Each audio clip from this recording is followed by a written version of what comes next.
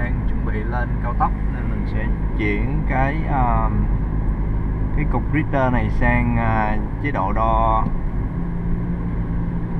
uh, tốc độ khi uh, tăng tốc. Khi mình qua cái trạm thu phí ở phía kia thì bắt đầu uh, không mình mình chắc tới đây mình qua hai trạm. Chạm đầu thì không biết là gì nhưng mà chạm đó thì chưa có bị thu phí.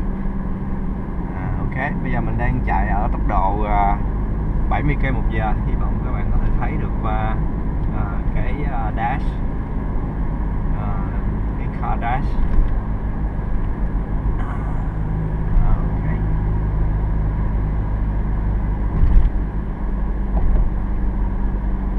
Start driving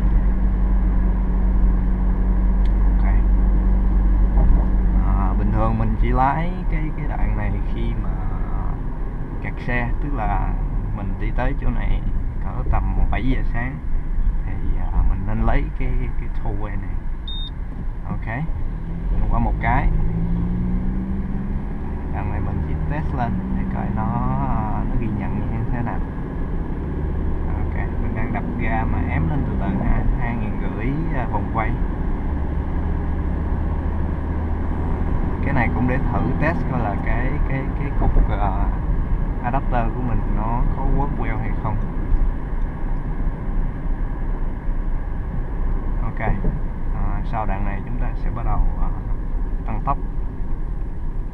Đoạn đường ở đây cho chạy là 80 nhưng uh, ở Thái Lan thường uh, cảnh sát ít bắn tốc độ.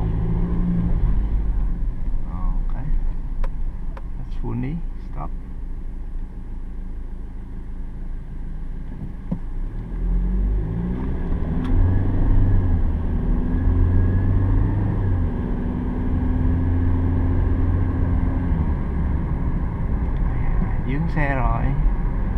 Là không đo được. Nên là buổi chiều về mới đo được. Thôi bây giờ nếu vậy thì mình sẽ à, test tốc độ của xe. Bây giờ mình đang tăng tốc và là lên 100 rất là gọn nhẹ êm ái lên 120 ha.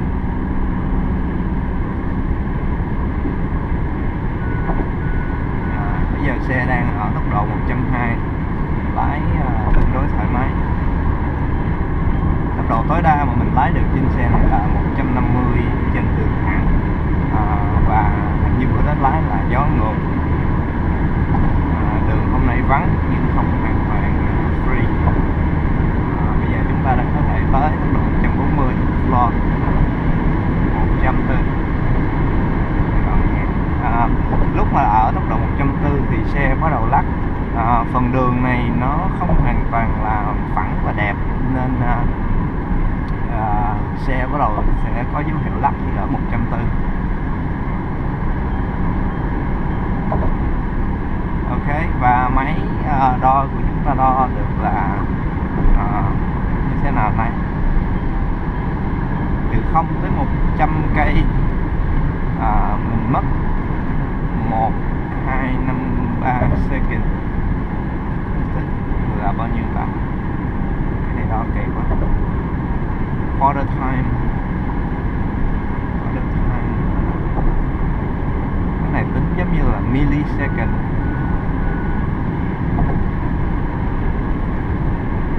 Cái bây giờ mình sẽ thử từ 120 gia tốc lên floor gas luôn là xe nó sẽ chạy như thế nào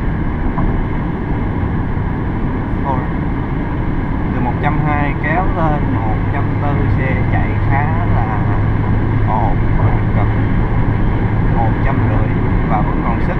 Như vậy xe này mình có thể ép tí cho nó lên 160 ok. À, nhưng vì à, tính an toàn à, à mình chỉ thử ở này.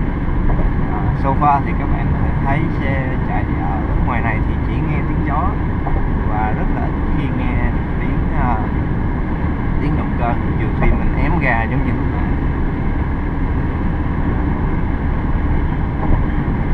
trọng lượng xe là khoảng 1 980 kg à, chưa có tải à, phần lớn là mình tải dầu 80 lít dầu trong xe thôi. À, mình xăng bữa nay full. Nên à, một ngàn chín 80 kg là trọng lượng không tải của xe.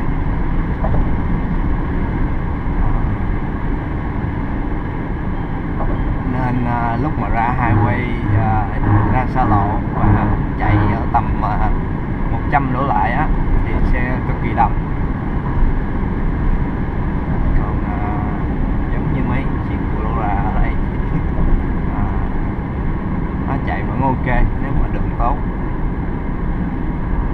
Còn những chiếc như là Honda Jazz, uh, Honda Vios mình đã thử chạy Vios ở đường trường ở Thái thử tốc độ 120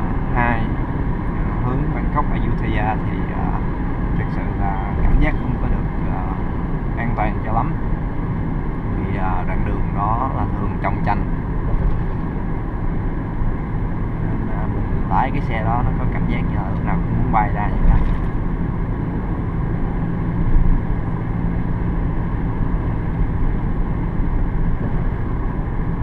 Ở tới đây thì uh, hết đoạn đường ấy rồi phải dừng ở đây.